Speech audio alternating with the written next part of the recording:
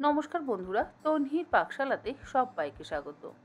অনেক দিন ধরে অনেক বন্ধুরাই আমাকে অনুরোধ করেছেন চিকেন আলা আলাকিবের রেসিপি শেয়ার করবার জন্য। তাই সকলের অনুরোধ রাখতে আজকে এই রেসিপিটা শেয়ার করছি। তাহলে দেখে নেওয়া যাক আমার আজকের এই ভিডিওটি চিকেন আলা আলাকিব বানাবার জন্য আমাদের প্রয়োজন পার্সলে এখানে আমি এক বান্ডিল পার্সলে নিয়েছি। আর ভালো করে ধুয়ে একদম মিহি কুচি করে কেটে নিচ্ছি।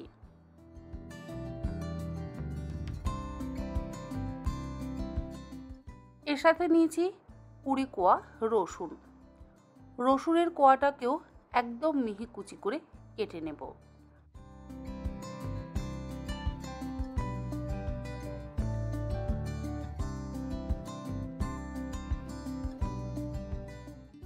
দুশো গ্রাম পরিমাণে নিয়েছি বাটার। বাটারটা কিন্তু একদম ফ্রিজের শক্ত বাটার নেই, একটু নরম বাটার আমি এখানে ব্যবহার করছি। বাটারের ওপর দিয়ে দিলাম মিহি করে কুচিয়ে নেওয়া রসুন, তার সাথে দিয়ে দিচ্ছি একদম মিহি করে কুচিয়ে নেওয়া পার্সলে। এই তিনটে উপকরণ একসাথে খুব ভালো করে মিশিয়ে নেব। চিকেন আলাকিবের জন্য আমাদের প্রয়োজন এরকম হার্ব গার্লিক বাটার তিনটে উপকরণকে একসাথে ভালো করে মিশিয়ে নিতে হবে। এরপরে আমরা চিকেনের যে ব্রেস্টের অংশটা রয়েছে, সেটাকে একদম পাতলা করে কেটে নেব। চিকেন ব্রেস্টের এই অংশটাকে আমি একদম ছুরি দিয়ে পাতলা করে কেটে নিলাম। জাস্ট একটা বইয়ের মতন বা খাতার মতন খুলে যাবে। এইভাবে আমাদের ব্রেস্ট পোর্শনটাকে কেটে নিতে হবে। এরপরে যে ছুরি দিয়ে বা চপার দিয়ে আমরা কাটিংটা করব, তার উল্টো দিক দিয়ে একটু চপ করে দিতে হবে। এমনভাবে চপ করতে হবে যাতে চিকেনটা কাটিংও না হয়ে যায়, আবার চিকেনটা একটু থেতো করে নেওয়ার মতন হয়, যাতে যাতে মাংসের মধ্যে রসুন পার্সলে আর বাটারের ফ্লেভারটা সুন্দরভাবে ঢোকে, আর চিকেনটাও সুন্দরভাবে সেদ্ধ হয়। দেখুন, আমি এইভাবে আমার যে হ্যান্ড চপারটা আছে, সেটা দিয়ে ভালো করে একটু চপ করে নিচ্ছি।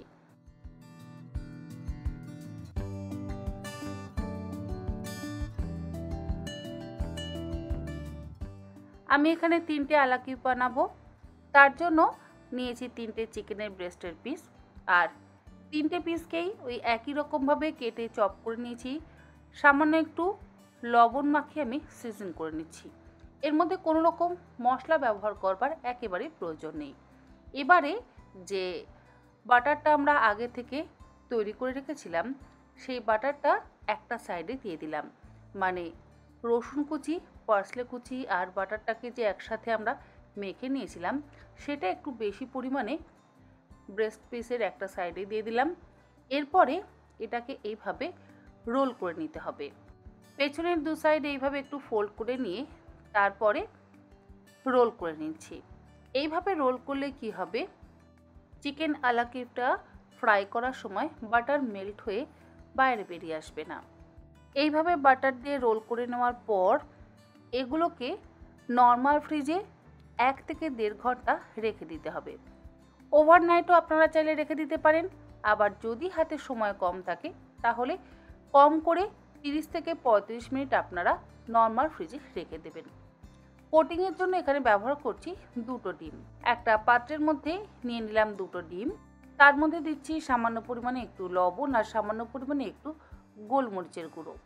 লবণ আর গোলমরিচের গুঁড়োটা দিয়ে খুব ভালো করে ফেটিয়ে নেব। যদি আপনারা চারটে এলাকি বানান, তাহলে তিনটে ডিমের কিন্তু প্রয়োজন পড়বে। আমি এক ঘণ্টা আলাকিফগুলোকে বাটারের পুর ভরে নর্মাল ফ্রিজে স্টোর করে রেখে দিয়েছিলাম। এক ঘণ্টা পর প্রথমে আমি কর্নফ্লাওয়ার দিয়ে কোট করে নিচ্ছি। একটা বাটিতে আলাদা করে কর্নফ্লাওয়ার নিয়ে নিয়েছি। কর্নফ্লাওয়ারের মধ্যে কিন্তু কোনো রকম লবণ বা গোলমরিচের গুঁড়ো ব্যবহার করিনি। কর্নফ্লাওয়ারটা দিয়ে খুব ভালো করে কোট করে নেওয়ার পর প্রথমে ডিমের ব্যাটারে ডিপ করে নেব। তারপরে ব্রেড ক্রাম দিয়ে কোট করে নেব। এই একই রকমভাবে আবারও একবার আমরা কোটিং করব। মানে ডিমের ব্যাটারে কোট করে নিই, তারপরে ব্রেড ক্রাম দিয়ে কোট করব। দুবার যদি কোট করা হয়, তাহলে ওপরের কোটিংটা খুব সুন্দর হয়। তাই চেষ্টা করবেন দুবার কোট করে নিতে। দুবার কোট করে নেওয়ার পর এগুলোকে আবারও মিনিট দশেক সময়ের জন্য আমরা নর্মাল ফ্রিজে রেখে দেব, যাতে ভেতরের বাটারটা মেল্ট না হয়ে যায়। আর গরমকালে হয়তো করতে একটু সমস্যা হবে। সেই জন্য যদি আপনারা একটু বেশি সময় ধরে নর্মাল ফ্রিজে স্টোর করে রাখেন, তাহলে দেখবেন ভেতরের বাটারটা শক্ত থাকবে। ফ্রাই করার সময়তেও কিন্তু গলে যাবে না মানে গলে গিয়ে বাইরে বেরিয়ে আসবে না। যখন আমরা কাট করব, তখন বাটারটা মেল্ট হয়ে বাইরে বেরিয়ে আসবে। আলা কেপগুলোকে আমি মোটামুটি প্রিপেয়ার করে নেওয়ার পর মানে কোট করে নেওয়ার পর নর্মাল ফ্রিজে রেখে দিয়েছি। আর ততক্ষণে চিকেন আলাকিবের সাথে সার্ভ করবার জন্য বাকি প্রিপারেশানগুলো করে নিচ্ছি। কড়ার মধ্যে দিয়ে দিলাম অল্প একটু গার্লিক হার্ব বাটার তার মধ্যে দিয়ে দিচ্ছি আগে থেকে তৈরি করে রাখা ভাত। গ্যাসের ফ্লেমটাকে মিডিয়াম টু হাইতে করে দিয়ে বাটারের মধ্যে ভাতটাকে খুব ভালো করে ভেজে নেব। আর এর মধ্যে সামান্য একটু লবণ ব্যবহার করছি। যদিও বাটারের মধ্যে লবণ আছে তবু আমি একটু লবণ ব্যবহার করছি। গ্যাসের ফ্লেমটাকে হাইতে করে দিয়ে মিনিট দু তিনেক সময় ধরে ভাতটাকে একটু ভেজে নেব। তারপরে এটাকে একটা আলাদা বাটির মধ্যে রেখে দিচ্ছি।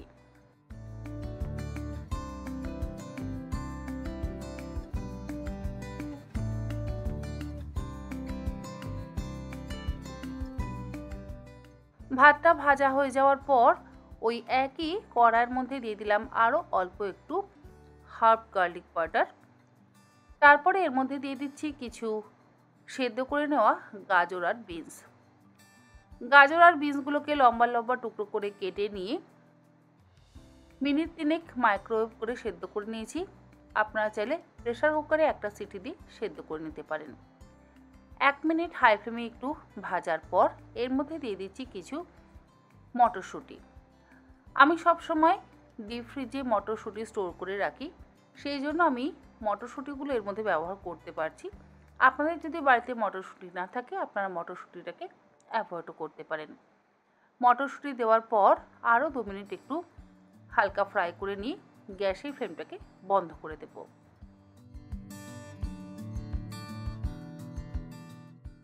চিকেন আলাকিপটা ভাজার জন্য ফ্রাই প্যানে দিয়েছি বেশ কিছুটা পরিমাণে সাদা তেল তেল ভালো মতন গরম হয়ে যাওয়ার পর ফ্রিজ থেকে বের করে নিয়ে ডিরেক্ট আমি চিকেন আলাকিপটা গরম তেলের মধ্যে দিয়ে গ্যাসের ফ্লেমটাকে মিডিয়ামে রেখে ভালো করে উল্টে পাল্টে গোল্ডেন ব্রাউন করে ফ্রাই করে নেব।